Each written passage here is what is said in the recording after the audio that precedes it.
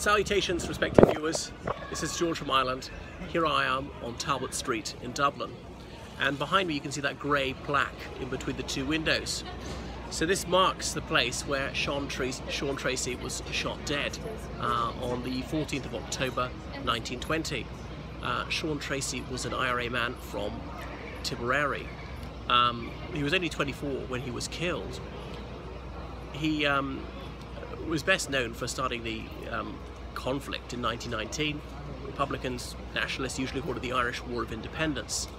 Um, so uh, two RIC officers were escorting a delivery of gelignite to a quarry because it could be stolen by people who would have ill intent with the gelignite. And uh, Sean Treacy and several other IRA men lay in wait for the R RIC. Now the IRA can't get their story straight. Do they just want to steal the gelignite and not kill the police officers? Or was their primary intention to kill the police officers? Anyway, they shot them dead.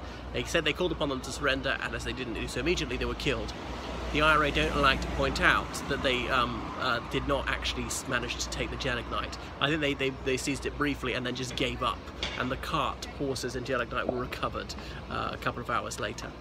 Anyway, so uh, Dáil Éireann was meeting in the Mansion House in Dublin, that's the Lord Mayor's residence. So they, all these um, Sinn Féin MPs who've been elected for Irish constituencies to go to Westminster were not going to the UK Parliament, were meeting here in Dublin to form their own Parliament. And uh, the first session of the Dáil was on the same day that Sean Treacy and his chums shot dead those two uh, Royal Irish Constabulary men. Um, and that was that. And so more uh, shootouts continued one of their colleagues, Sean Hogan, he was arrested. He was going to be taken by taken by uh, train to Cork to stand trial for his life and probably face uh, execution. However, Sean Treacy and Dan Breen, they rescued him. You can read a lot about this in Dan Breen's um, very uh, self-serving My Fight for Irish Freedom, which is full of tall tales, quite childish in its way, but a thoroughly uh, readable book.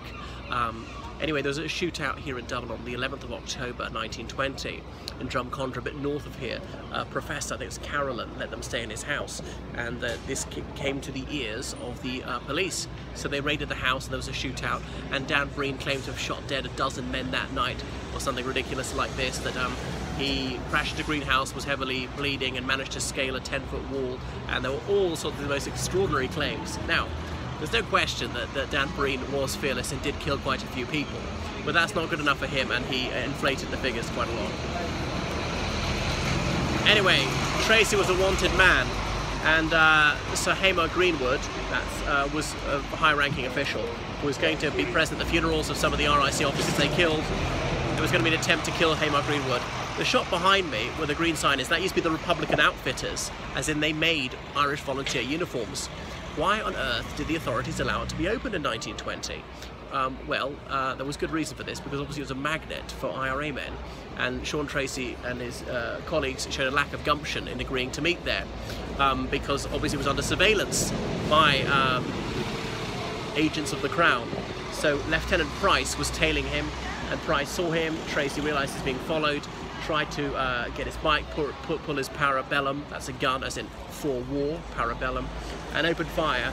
And, and Price was shot dead, there were shots fired, and um, Treacy was felled by a single bullet to the head. It happened to be witnessed by a photographer's apprentice who was um, high up in a, uh, on, the, on the street and from the first floor window he took a couple of photographs and that was that Treacy was dead Anyway, his body was taken by train back to uh, his native county, where tens of thousands of people turned out for uh, his uh, interment. So he was adulated by many people there.